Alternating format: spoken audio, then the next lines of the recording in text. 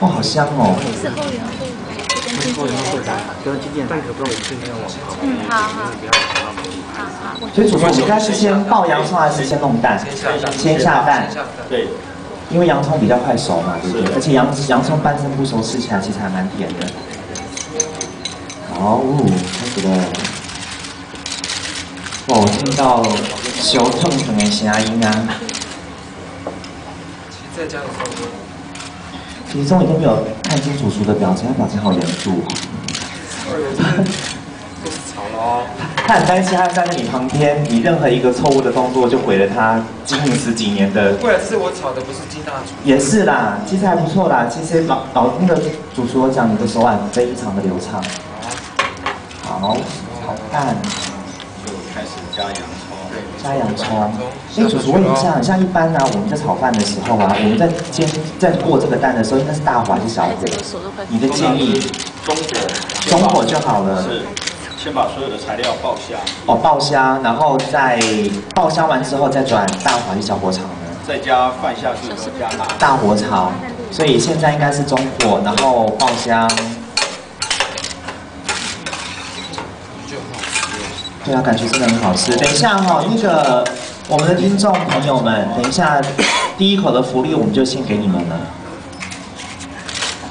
好，然后加了葱，加了葱，葱除除了是爆香，也是让什么色彩比较好看一点，对不对？没错嘛。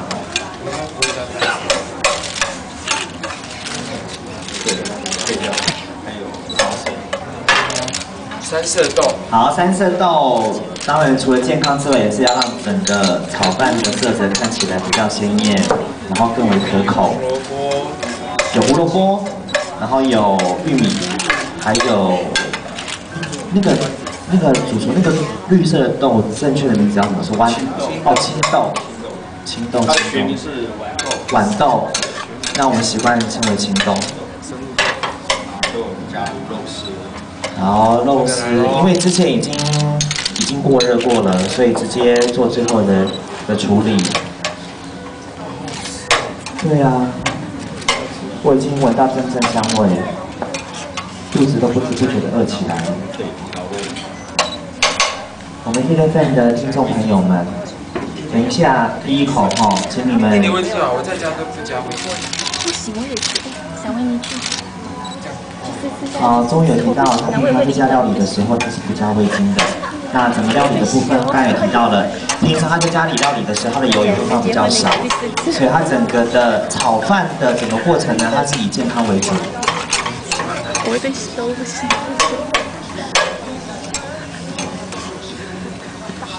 会发现金大厨比我更有压力。哇，好香哦，已经闻到味道了。可以加一点点提味用的，对不对？对，提味用的。哎，那那个主厨问一下，你看那个有 X O 酱，那个需要放吗？番茄酱。因为是番茄酱 X O，哦是番茄酱，所以最后可以用嘛，对不对？就让整个的炒饭的口感会更顺。更顺。好，我们重头戏来看。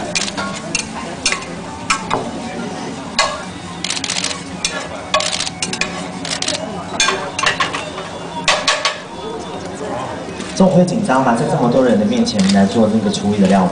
不啊，大家怎样？每个都要吃，每个都要吃一个吗？那你可能要在那边一直煮哦。今天今天人还蛮多的，来谢谢主厨。然后钟伟在做最后的，把刚刚弄好的料跟饭做一个最后的搅拌跟炒的动作。其实啊，我觉得我们等下第一口还是要让主厨来吃一下，因为他才能够吃得出来好不好吃。我们用专业的味蕾来评判一下钟伟这一次。它粒粒分明。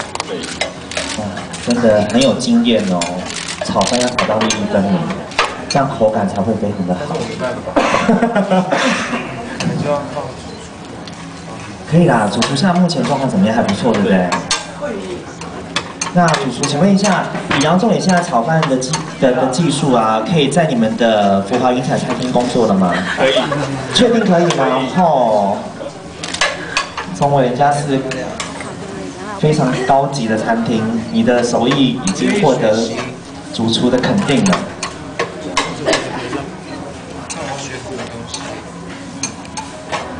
有没有想过，除了炒饭是自己拿手料理吗？还有没有什么菜是想学的？